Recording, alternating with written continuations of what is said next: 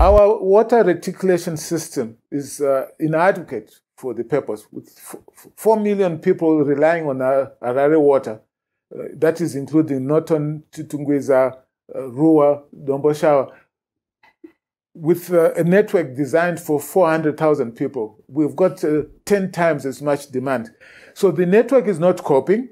Uh, the system is antiquated and dilapidated. It requires to be replaced and upgraded. That is the water, that is the sewage. It's an emergency situation. Again, none of our uh, sewage treatment plants are operating at the moment. Uh, Firle, uh, Crowborough, Ingwe in uh, Chitungwiza, they are all discharging raw sewage into our very reservoirs that we are drawing water from.